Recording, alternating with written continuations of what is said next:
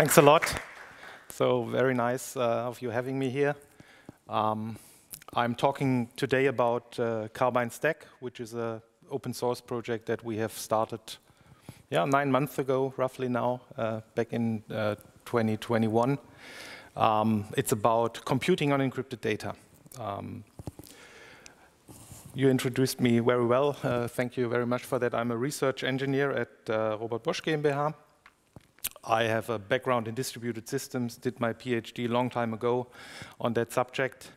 And nowadays I'm a maintainer of, of uh, Carbyne Stack, uh, but also working on other privacy-preserving computing technologies. So a few words about Bosch. So we are a really big company, 400,000 people worldwide. Um, we have uh, 440 subsidiaries all over the world. That becomes relevant later on. That's why I'm mentioning it here. Um, we also have a, a big research department um, where we look into all kinds of technologies uh, that is uh, relevant for our business uh, fields. And these business fields, you may know us as the world's biggest automotive supplier, but we are also active in, in various other domains, including, for example, consumer goods. You might have a washing machine or a dishwasher from Bosch. Um, but that, that's all about uh, uh, what I want to say about Bosch. Um, the agenda for today is I will first give a motivation, what Carbyne Stack is, uh, why we do it in an open source context, um, why we do it at Bosch uh, in general, which might be surprising. Then I give an overview of what Carbyne Stack is, uh, uh, how it works architecture-wise, and also give an example based on the computing component of it. Uh, and then finally, I give an outlook what, what comes next and, and, and a summary of what you have heard so far. So starting with, um, with uh, the motivation part. Um, Privacy-preserving computing technologies, what is that? I always use this analogy. You might know these glove boxes from laboratories. Um, in, in the metaphor I use, the, the data within that glove box uh, is what is can, can, be dangerous for, for example, for compliance reasons, because there is IP in it that you don't want to uh, uh get uh, lose control over, and so on. And then you have your hands in that glove box, which are kind of the algorithms that you use to manipulate the dangerous substance, the data, uh, but you have full control by having this. Uh, contained uh, container where the data lives in. And so when you look at privacy preserving computing technologies, they allow you to seal computing environments and giving you a couple of guarantees. The first one is confidentiality. So uh, the data that is uh, worked on using privacy preserving computing technologies is protected from being manipulated, uh, is uh, protected from, from being extracted from that secure environment. And also you have full control over the data, meaning that you would decide what algorithms might uh, access the data and what actually leaves that glove box uh, to, the, to, the, to the outside. Why is privacy preserving computing technologies important? So there's a lot of text on it, you don't have to read it. I uh, just want to make clear that there is a lot of momentum in this, uh, in this technology at the moment. So the, the main drivers are we had 2018 the introduction of GDPR in Europe, but nowadays you don't only you only you not only uh, have GDPR, but you have similar kind of regulations in 80% of the countries of the world. And for a global uh, company like Bosch, of course, that creates a lot of friction because we have to comply with all of this, right? And privacy-preserving computing technologies with the high security guarantees it gives and the privacy guarantees it gives helps us to deal with this all of these uh, different um, uh, laws and regulations uh, in a kind of a uh, consistent way.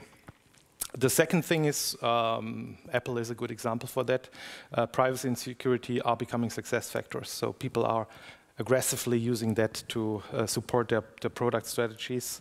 Um, it's not only on consumer goods, but it's also in, in the industry uh, uh overall. So you, you have an increasing degree of collaboration between companies, and whenever you collaborate on data, you have to make sure that you are compliant in terms of regulations. You have to make sure that the IP that might be contained in that data is not leaked and you don't lose control over that. So there are a couple of studies and findings that support that companies that adopt already today privacy-preserving technology, computing technologies have, have better chances to survive in digital markets. And finally, uh, when you look at the industry Uh, you see there are a couple of organizations coming up. So you have the Confidential Computing Consortium that looks into confidential computing in particular, and you have the MPC Alliance, which is Bosch, which Bosch also is, is a member of, uh, that uh, tries to support and establish uh, a good ground for uh, secure multi-party computation. So the bottom line is privacy-preserving computing technologies has a lot of momentum. it can be used as a compliance enabling technology, as a trust enabling technology with your customers or partners, and also in a collaboration enabling, uh, has a co collaboration enabling uh, role. So uh, get, let's get a little bit more concrete. What are privacy preserving computing technologies on a technical level? So we have uh, more or less uh, three classes. The first one is, and we will talk about that today, computing on encrypted data. So you may have heard of uh, homomorphic encryption, for example. I think there is the, the, the, most hype around that at the moment. But there is also secure multi-party computation, which is the topic today. And the, the, the main and the unique characteristic of computing on encrypted data is, as the name implies, uh, the data is encrypted all the time, even during use. Um, and that is kind of a game changer, and that's why it's considered as the holy grail in security, and that's also the, the, the motivation for the title of my talk today. Um, next to that, we have confidential computing. That's, uh, you have might heard of Intel SGX or AMD SEV. So that's a hardware-assisted um, technology where you can create uh, very tightly controlled um, uh, protected areas on your CPU where you can put your data in and then process it and then later on uh, store it out again. The difference between computing on encrypted data and confidential computing is that confidential computing actually doesn't uh, keep the data encrypted all the time. So when it comes from memory, it gets decrypted and then worked in the clear on the CPU, and then later on uh, encrypted before being written to memory again. That has implications. Uh, so the first one is it's much more efficient than computing on encrypted data because you don't have to use these very heavyweight cryptographic techniques. Uh, but the other one is uh, it is the, the fact that you decrypt the data before processing it opens up um, vulnerabilities in terms of side channel attacks, for example. So you can monitor, for example, the, the, the power that the CPU consumes. And based on that monitoring, you can uh, derive what the original data is that has been processed within that uh, secret environment, which is not possible with computing on encrypted data. And finally, uh, we have statistical disclosure control techniques. These allow you to control what happens with the data when it leaves these protected environments. So you might have heard of differential privacy, for example. That's a mathematical method where you can uh, ensure that what leaves the data doesn't allow you to make conclusions about the original data that has been processed and makes mathematical guarantees about that. Today we will talk about, as I said, computing on encrypted data and secure multi-party computation in particular. As you see in the chart below, uh, it's very secure, as I said, because data is uh, encrypted all the time but it has its problems still. So the cost efficiency is not too high, uh, maturity is not too high at the moment, and uh, also the usability. I will come to that uh, in more detail later on. Um, so next question is, why do we that at Bosch? Um, so we have a lot of use cases where we uh, uh, have to comply with regulations, as I said before, and we have a lot of use cases where we want to collaborate with our partners. Examples are where we use confidential computing because of performance requirements is AI data pipelines. So we are developing systems for highly automated and autonomous driving. And for doing that, we need a lot of data. And that data typically comes from cars that are driving through the streets. And on, the, on these images, you have people, other cars with number plates and so on. And that's sensitive information, considered personal identifiable information. That's the reason why GDPR applies. And then we need to apply the most uh, secure technology that is considered state of the art um, today.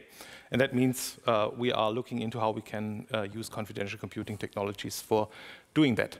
Another example is simulation. So uh, modern uh, um, car consists of 200 microcontrollers plus, and um, you cannot, uh, uh, because change is the normal thing, right? So you have to update the systems all the time. And what you can do today um, is uh, drive around and validate the systems by, by doing that. You have to do a lot of simulations to do that, but that uh, creates the, the problem that the models come from different vendors and the vendors don't want to expose their IP uh, to, for example, the simulation uh, environment provider. And that's the reason why we look into how we can computing, uh, confidential computing techniques to protect these models. Um, now for the computing on encrypted data use cases that we have at Bosch, I will give uh, only one example.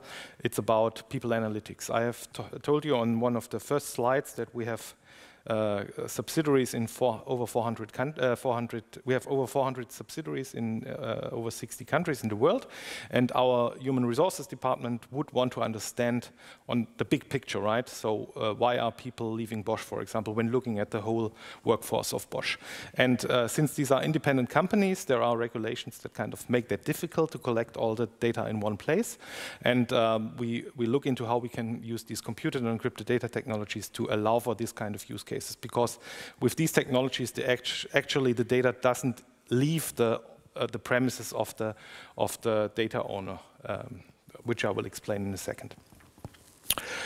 Yeah, so secure multi-party computation, what is that? Um, so you typically have two or more parties that want to do a joint computation on a data set that is comprised of uh, sub-data sets that come from here, in that case, Alice and Bob. And they want to do a, a computation on top of the joint data set, and, uh, but they want to avoid that the, their own data set is exposed to the other parties. And that's exactly the use case for MPC protocols. They allow you to do that computation without exposing that data to the other party using cryptographic uh, methods. Um, there are upsides and downsides of this technology. Uh, so first of all, um, the, upside is uh, data is encrypted all the time. So even if Bob gets hold of the data, it's encrypted and he cannot use it. It has provable security. So in contrast to the trusted execution environments or the compu um, confidential computing techniques, um, yeah, it's mathematically sound. You can prove that they are secure. That's why a company called Unbound Security uh, made a phrase math over matter, uh, which is a nice sentence. Um, and you don't have to trust anybody. So in that case, Alice has only to trust his own infrastructure, her own infrastructure, but not the infrastructure of Bob, which is kind of a nice feature. Uh, the cons, um, there are um, all, uh, still many of them. So as I told already, there is large computational and computation overhead uh, required here. And um, there is, um, as of today, no uh, enterprise-grade MPC stack available. And that's the reason, by the way, why we started the Carbyne Stack um, initiative, uh, which we will go into more detail in, in, in over the next slides. So what does uh, enterprise grade mean? Um, so there are a couple of uh, properties that you want to have for such a system. Uh, I think in the, in the upper row you are very well aware of, of that uh, property, so I will not go into detail here, but let's focus a little bit on the lower row. Um, so the first thing is efficiency. So as I said, there are large overheads and we want to make sure that under the constraints of the technology, we, we want to keep the cost as low as possible for using it. Integration means that's a whole new computing paradigm, but we don't want to set up a known infrastructure for that. We want to reuse what is, what is available there already. So you don't have to set up your second data center just to support MPC. You can just use what is already there. Versatility means um, we had these different use cases. So what we don't want to do is set up an infrastructure for each of these use cases, but having one versatile stack that can be used for, for tackling all the challenges within these use cases. Simplicity, as you will see, it's quite a complex stack, so uh, we, we want to make sure that under the constraints of that stack, we want to keep it as simple as possible. And finally, security. Um, it's, it's not only that you use secure multi-party computation, which is a secure protocol by definition, but you have also make sure that it integrates well with the other IT security aspects that, you, that are relevant in your business. And now, the good thing is, um, there is cloud native uh, computing, uh, cloud native technology available. Looking at the definition from CNCF here on the right. You can just by using keyword uh, pattern matching, you can you can just identify a lot of the things that have been on the last slide. Um, I will not go over there. There is uh, uh unfortunately no mentioning of security in the CNCF definition, but when you look at the ecosystem, there are a lot of uh, relevant projects in, in available. Um, on the left side, you can see all the technologies that we use in, in Carbyne Stack. At the moment, I will also later on discuss a little bit where the different components play which role in Carbyne Stack. Final question for the motivation, why um, why we decided to do that in an open source approach. Uh, there are many reasons. I will just highlight two of them here. So the first one is, when you remember one of my uh, previous slides, there was a site from Gartner saying that over 50% of the companies uh, of the world will use PPCTs in the next years to solve collaboration and compliance issues. So the idea here is if they have the same problems, let's build the enabling technology together, right? So, and share the, the risk and, and uh, cost of, of doing that. And the second thing is um, increase trust. So, uh, in particular in the security area, it's a good idea to uh, open up all your code for public review. In open source context, everybody who's interested can have a look and decide then based on what he, uh, she or he sees whether it's good enough or not. Um, and in that context, um, it makes a lot of sense because when you say the protocols that we use can be proven to be mathematically secure, there is no value in it if you don't demonstrate that you actually implement these secure algorithms in your code. And with the open source approach, people can have a look and, and uh, decide on their own whether that fits or not. Okay, that was the motivation. Now come into, now let's talk about what Carbyne Stack actually is. So I guess a, lot of you have already an idea of what we do. We combine uh, cloud-native uh, technology with secure multi-party computation frameworks um, and then uh, get Carbyne Stack. Cloud-native means we have enterprise-grade processing at scale capabilities. MPC frameworks means we can keep the data encrypted at all time. And as a result, we then, uh, with this simple equation, we have enterprise-grade, always encrypted data at scale. That's the idea. Is that a good idea? Uh, we think yes, and also others are also of this opinion. So on the lower left side, you see um, a picture from, from Gartner as well. They did a prediction which technologies will be relevant for, for digital companies in the future to, to be successful. And you see there privacy-enhancing computation, which is another word for privacy-preserving computing technologies, and you see cloud-native platforms there, and that's exactly what we do with Carbyne Stack. so uh, to understand the next slides, you have to understand a little bit how uh, secure multi-party computation works and what, what, are the implications on the architecture. So first of all, this is multi-cloud. So typically you have uh, multiple providers that want to work together. That's Alice and Bob in the previous picture. Um, and they operate their infrastructure on their, on their own infrastructure or in a public cloud where the, the infrastructure is controlled by them. We call these uh, parties virtual cloud providers and they join uh, together to build what we call a virtual cloud that virtual cloud offers services, and these services can be consumed by any number of clients. Um, the most efficient MPC uh, protocols today, they are working in the so-called offline-online model. Um, the in the offline phase, they generate so-called correlated randomness. That's kind of, you can think uh, when you are a racing game fan, this is the nitro that you use to kind of uh, boost your car to drive uh, very fast. And this is exactly what we are doing with the online phase here. So it generates the nitro that is later on consumed in the online phase for having uh, very efficient and fast calculations. So the, the important uh, parts here is in the offline and in the off online phase, the parties, so the virtual cloud providers, have to communicate all the time. Um, that's a very tough setting in, in multi-cloud settings, but uh, that is how secure multi-party computation uh, protocols work. And in addition, you have, in the, especially in the offline phase, you have massive communication requirements. So we are talking about uh, gigabytes of data per second that has to be exchanged between the clouds uh, for, uh, for uh, doing the computations.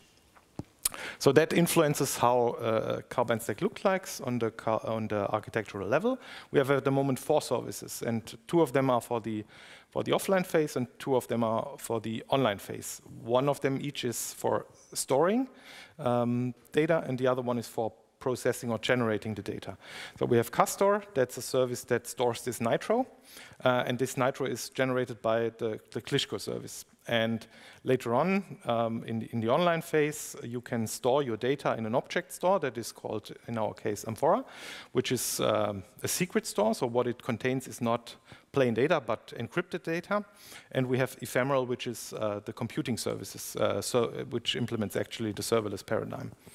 How all of this works together is uh, like the following. So in the first step, uh, Alice and Bob in that case would kind of uh, in, um, start a binding process where they jointly create some cryptographic keys.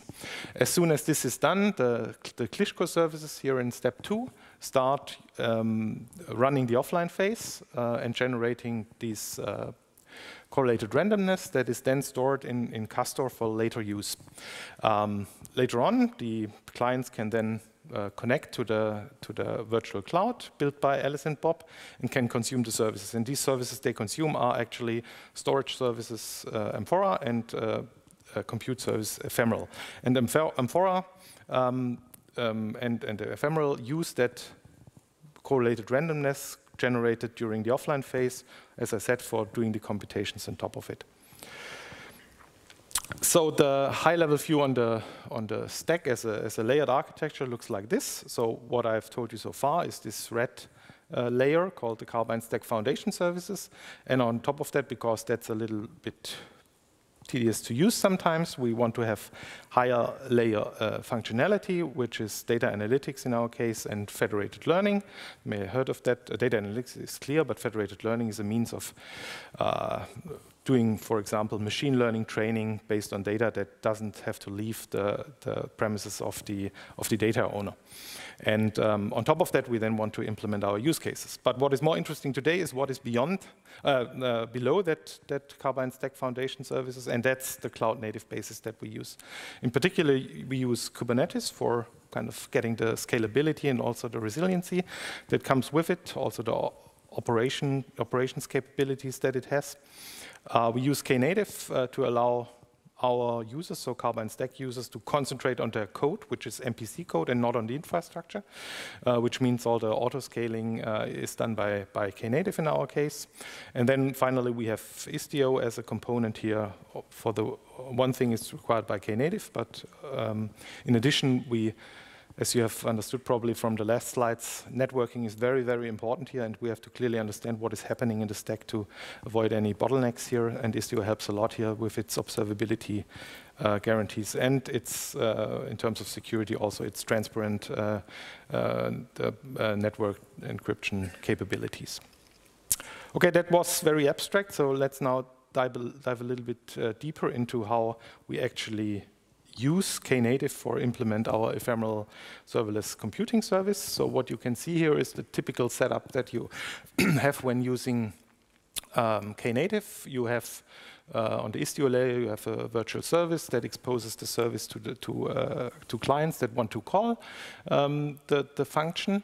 Uh, then you have the function container itself, which contains your business uh, logic, and you have a proxy in front of it that queues the incoming calls and uh, uh makes sure to uh, send the uh, consumption metrics to a component called the activator, which uh, then, and, and the autoscaler, which makes sure that uh, you can um, scale the system based on the load and also scale to zero in case there is no load uh, available.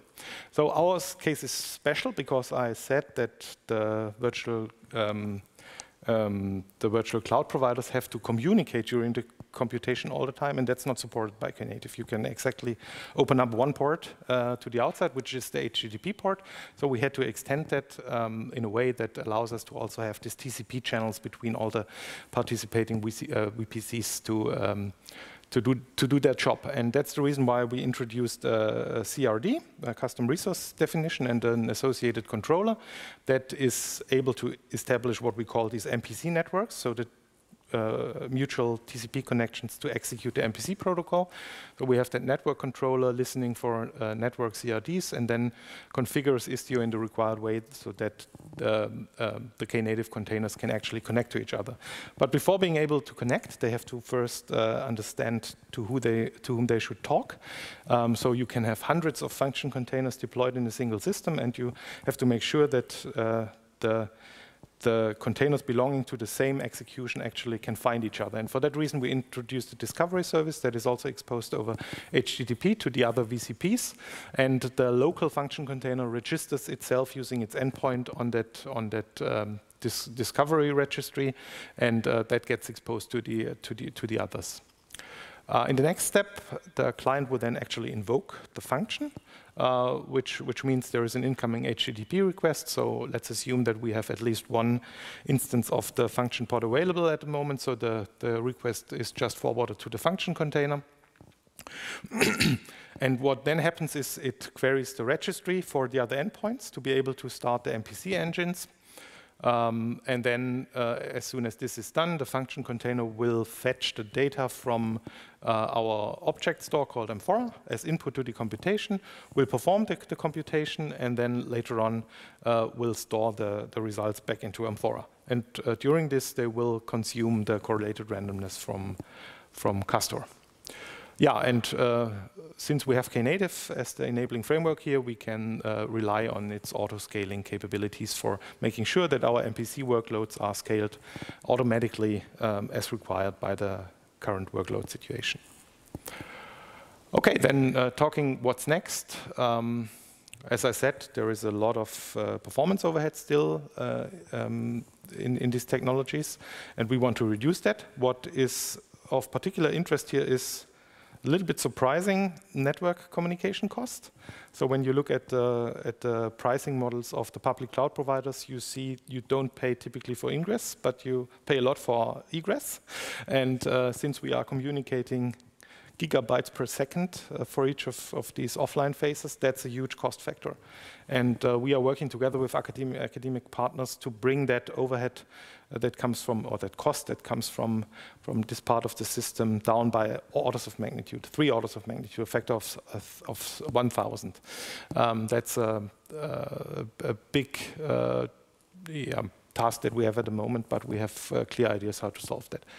The second thing you saw that al already on the on the uh, slide on the on the layered architecture. So we want at the moment we have we have this kind of infrastructure as a service layer called uh, Carbyne Stack Foundation Services, but we want to add additional services on top of that that deliver more value to customers and are more easy to use. So for using the Carbyne Stack Foundation services, you have to have a basic understanding of how MPC works uh, which is not the case for these higher level services. For, for example, for data analytics, we are uh, working together with a partner to implement a database management system based on MPC on top of the foundation layer so that people using it can, can just use their regular SQL uh, uh, tools and, and language to, to query that system, which will uh, remove the need to understand what is happening uh, um, underneath.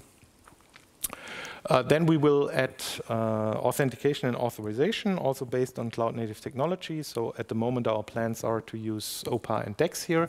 So OPA for having a flexible um, policy engine to allow for different kinds of access policies for uh, depending on, on the use case that we want to realize and DEX for OIDC authentication. So this will allow us to define exactly who is allowed to do what in the system when it comes to, for example, um, query data from the Amphora object store. And um, the final thing is we want to investigate and use the, the operator framework for actually deploying, configuring, and operating a Carbyne Stack virtual cloud provider. It's a rather complex uh, thing. So we think that tooling is uh, necessary to, to operate this. We already started doing that. So that, that Klyshko service that implements the computation layer of the offline phase is already based on the operator pattern. Um, so you basically can uh, deploy jobs generating correlated randomness using uh, custom resource definitions um, by means of a controller that uh, initiates all the required processes. Okay, so in summary, um, you have heard about PPCTs. What is this? What is their relevance for the industry? There is a lot of momentum behind it. Um, what I didn't say is that, uh, for example, there is a prediction from, from the Confidential Computing Consortium that the growth of these technologies uh, will be up to 95% until, so uh, compound annual growth rate um, until 2026, creating a 50 billion dollar market um, around confidential computing. Um, secure multi-party computation is one specific privacy-preserving computing technologies that has very strong security guarantees and allows for end-to-end -end encrypted data uh, pipelines. Um, it has uh, a lot of requirements on the underlying uh, infrastructure, in particular because it has it has to ensure that parties can communicate across cloud boundaries all the time. And uh, yeah, with Carbyne Stack, our our mission is to establish an enterprise-grade MPC framework that can be used by all those that have similar needs like Bosch uh, when it comes to establishing trust with their customers, being compliant with regulations, and um, uh, collaborate with, with their partners. Yeah, so you are all invited if you are interested uh, to join our effort. Uh, we have a website, uh, CarbyneStack.io, uh, that describes the system and also has tutorials how this can be deployed. Uh, we have a GitHub organization, of course, um, where you are very welcome to uh, submit issues if you find any or uh, submit PRs. And there is also a Discord server where we kind of answer all community questions and also have our regular community meetings. Okay, with that said, that's it. Are there any questions? Thank you.